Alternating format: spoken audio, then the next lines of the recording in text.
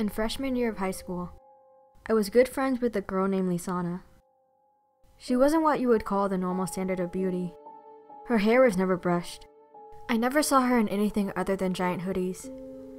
And she never wore makeup, so her eye bags always stood out. But her appearance was not a huge factor in why we became friends. I befriended her because she was one of the most unconditionally kind and genuine people I had ever met. Unfortunately, not everyone saw the side of her I saw. Our classmates picked on her because of her flaws, and I couldn't imagine what their words did to her self esteem. Despite Lisana clinging to me every day of the school year, during the summer of junior year we had drifted apart.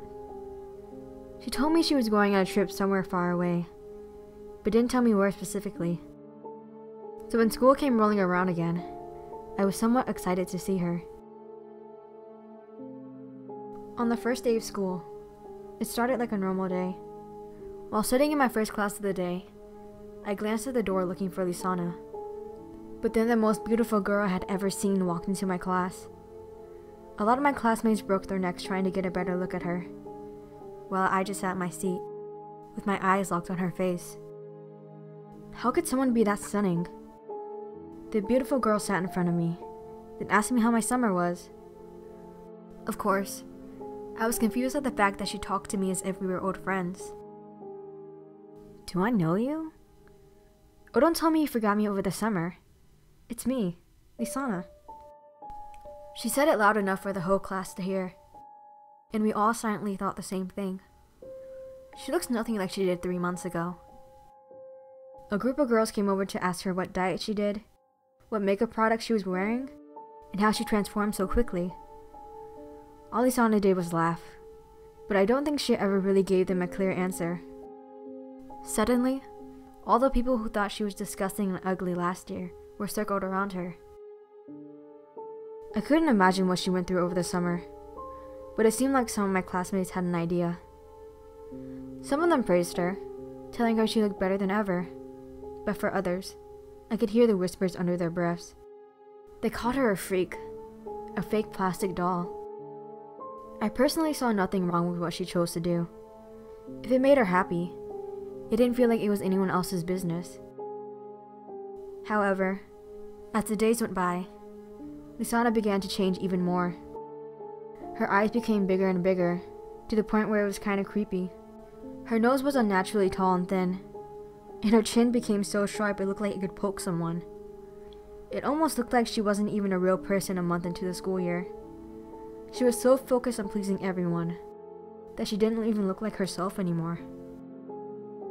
At one point, I decided that this just wasn't healthy at all. So I drove to her house over the weekend to see if I could talk to her parents. As I stood in front of her doorstep, I noticed that all her once beautiful flowers on the patio were now dead which I thought was strange, because every time I visited, I saw her mother watering them.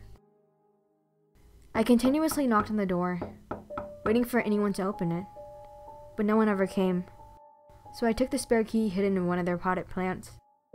Silently apologizing in advance, I unlocked the door and stepped into her house.